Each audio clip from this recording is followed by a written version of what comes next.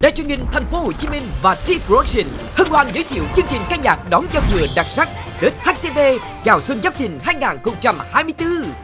Chương trình được thực hiện hoành tráng, công phu, quy tụ những nghệ sĩ ngôi sao nổi bật, những ca khúc hit năm qua hay những tiết mục đậm chất Tết dàn dựng riêng cho chương trình cũng sẽ được thể hiện mãn nhãn. Ngoài âm nhạc, chương trình còn mang đến không gian hồi xuân rộn ràng và những cuộc giao lưu hội ngộ bất ngờ thú vị của các khách mời đặc biệt có nhiều đóng góp cho âm nhạc nghệ thuật Việt Nam trong năm qua. Hãy cùng đón giao thừa với Tết HTV vào 22 giờ đêm giao thừa ngày 9 tháng 2 năm 2024 trên kênh HTV7.